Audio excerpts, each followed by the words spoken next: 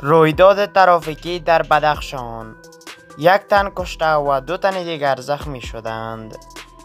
به نام خداوند بخشاینده و مهربان باز هم خوش آمدید به یک دیگر از ویدیوهای چنل کابل وایس. تقاضا می نماییم که تا آخرین خبر با ما همراه بوده چنل ما را سابسکرایب نمایید. تا از خبرهای جدید و روزانه ما آگاه شوید. مشروع خبر آماج نیوز در برگه رسمی فیسبوک خود می نویسد. رویداد ترافیکی در بدخشان یک تن کشته و دو تن دیگر زخمی شدند.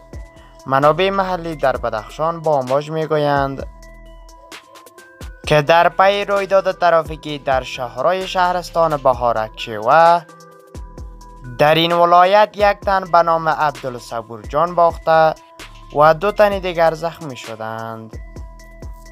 در عین حال طبق یک خبر دیگر آماج نیوز در برگه رسمی فیسبوک خود می نویسد وقوع آتش سازی در داخل لوای چهارم قلوردی طالبان در غور. منابع محلی در غور. از وقوع آتش سازی در داخل لوای چهارم قلوردی الفاروق طالبان در این ولایت خبر می دهند این آتش سازی حوالی 12 چاشت امروز چهارشنبه رخ داده است.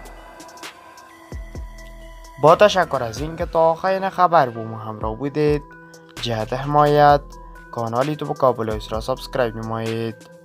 تا دوری دیگر بیدرود